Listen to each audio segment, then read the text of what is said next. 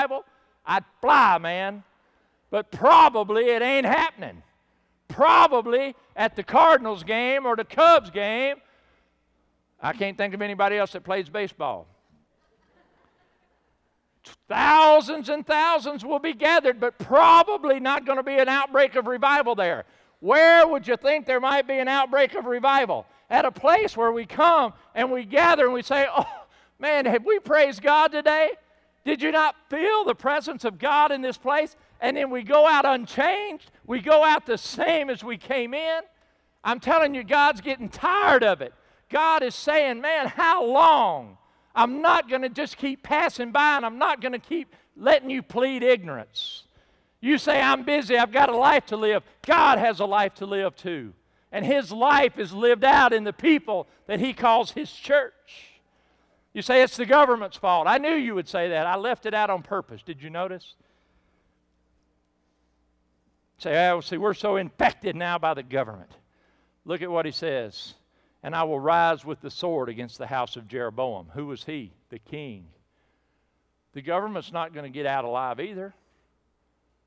But I don't expect the government to be my spiritual advisor.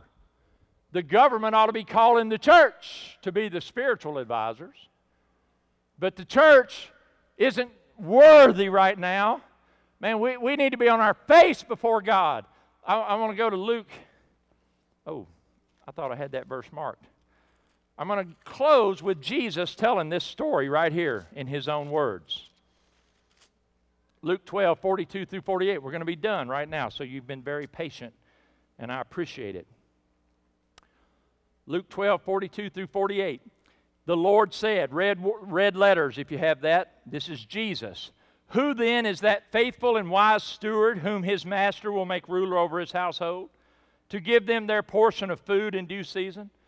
Blessed is that servant whom his master will find so doing when he comes.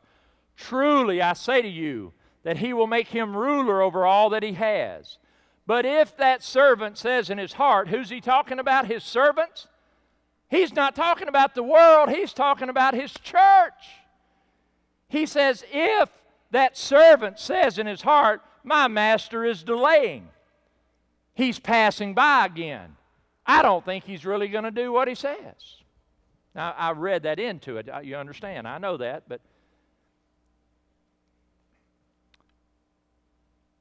Where am I at?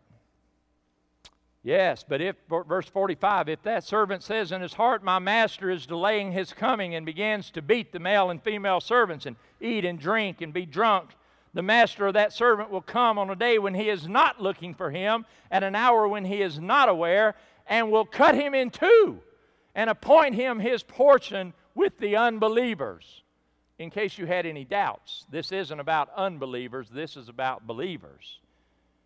Because he says, I'll cut that man in half and appoint him with the unbelievers. Woo. And that servant who knew his master's will and did not prepare to do according to his will shall be beaten with many stripes. But he who did not know, yet committed these things deserving of stripes, shall be beaten with few. For everyone to whom much is given, from him much will be required and to whom much has been committed, of him they will ask the more. Friends, see, if, if we lived in deep, dark Africa and we didn't know anything and we didn't have but maybe a page of the New Testament and maybe a page of the Old Testament, we would not be accountable. We would not be accountable for as much because we could literally say, I don't know. I just walk in what the Holy Spirit lays on my heart and I try.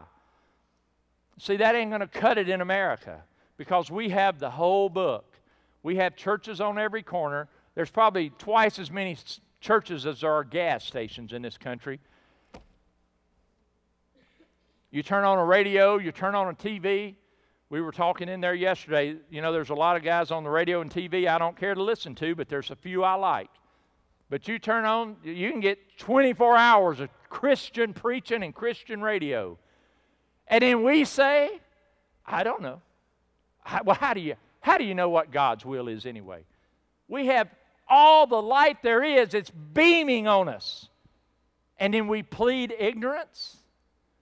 I would suggest to you today, God will have no part of that. I would suggest to you today that the church of Jesus Christ, not the church of the Nazarene in Moravia, although it wouldn't hurt us either, but the church of Jesus Christ in America needs to wake up, look at the plumb line, see the standard God has set, and walk in the standards of God Himself. Because one day, God's going to say to us as well, I will not pass by anymore. But He'll come on a day we're not looking, at an hour when we do not expect, and we will miss heaven because we played the game of church and didn't get serious with God. Stand with me this morning. Let's pray and seek His face. If you've got a name, if you've got a name and you want to put that name in to be prayed for, top third of the bulletin will come off.